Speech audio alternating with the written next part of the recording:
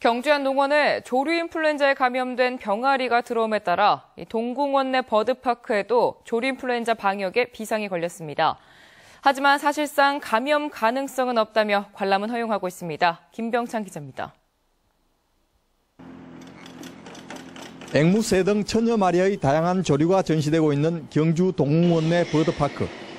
대규모 세장 안에서 직원들이 아침부터 방역 작업을 서두르고 있습니다. 출입구마다 발판 소독조를 설치하고 축산 관계자 등의 출입도 통제하고 있습니다. 버드파크가 조류 인플루엔자가 발생한 천목면 희망농원으로부터 직선 거리로 불과 6.4km 떨어져 감염 가능성이 제기되고 있기 때문입니다.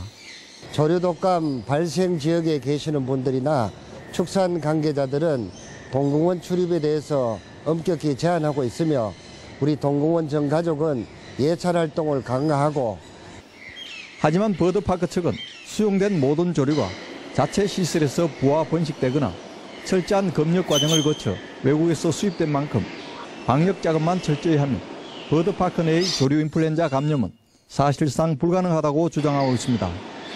지역 내에 조류 인플루엔자가 발생했음에도 불구하고 동궁원 내 버드파크는 계속 관광객들에게 개방됩니다. 최근 국내에서 확산되고 있는 조류 인플루엔자는 사람에게는 감염된 경우가 없는 것으로 알려지고 있습니다.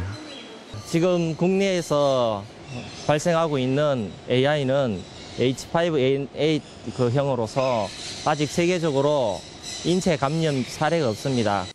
하지만 버드파크 측은 만일의 경우에 대비해서 방역 작업에 총력을 기울이며 조류 인플루엔자가 더 이상 확산되지 않기를 바라고 있습니다. MBC 뉴스 김명창입니다.